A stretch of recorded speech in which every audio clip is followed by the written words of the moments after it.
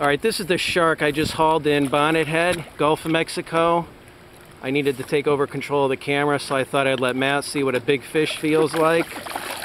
He's probably about seven feet long. It's hard to tell.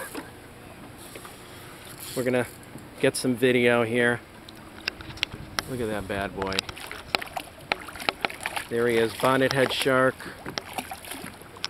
I'll be eating that for dinner tonight. About four and a half feet, about 265 pounds. Bonnet head shark. All right, I'll take him the rest of the way, Matt. Thanks.